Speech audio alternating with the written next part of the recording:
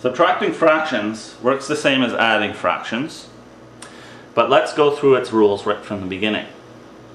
If we want to subtract 2 thirds minus 1 fifth, we have to have a common denominator. So we need to know the multiples of 3 and 5. I'm going to draw them here. The multiples of 3 are 3, 6, 9, 12, 15, 18, 21, and it keeps going.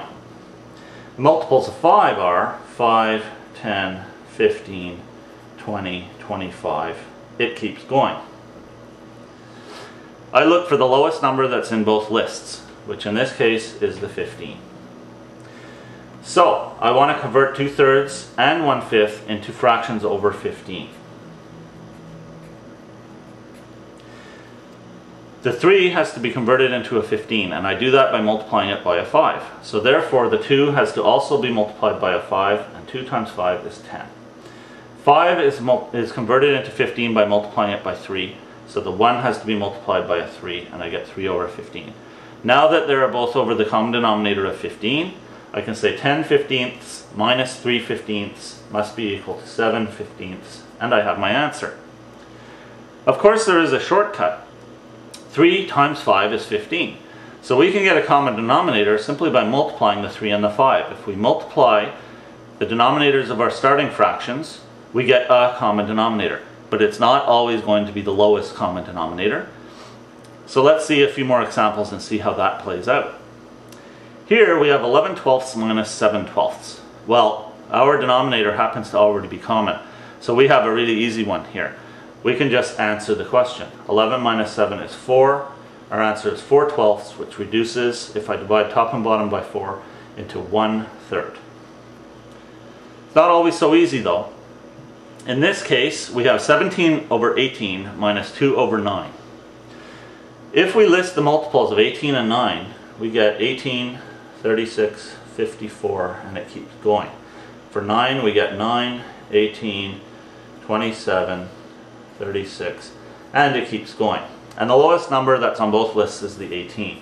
It turns out that our lowest common denominator is already the denominator of one of our fractions. That doesn't matter, we can still go about it the same way. 17 over 18 stays the same. The 9 has to be multiplied by 2 to give 18, so the 2 has to be multiplied by 2 to give a 4. 17 eighteenths minus 4 eighteenths is equal to 13 eighteenths, and we have our answer. If we had tried the trick of just multiplying the denominators we already have, would we get the right answer? Let's try it. 18 times 9 is equal to 162. So we would have to put both fractions over 162. That's a rather large number. But 18 is converted into 162 by multiplying it by a 9 so we have to multiply the 17 by a 9 and we get 153. 9 is multiplied by an 18 to give 162, so the 2 has to be multiplied by an 18 and gives a 36. If we subtract 153 over 162 minus 36 over 162, we get 117 over 162. Can this fraction be reduced? These two numbers have a common factor of 9. 117 divided by 9 is 13. And 162 divided by 9 is 18. So I have to reduce the fraction I got as my answer. And it turns out that I have 13 eighteenths, which is what I got when I use the more efficient lowest common denominator. So what happened is multiplying those two gave me a common denominator, and that's convenient it will give me the right answer, but my right answer will have to be reduced to give me the type of right answer that will get me full marks on a test question.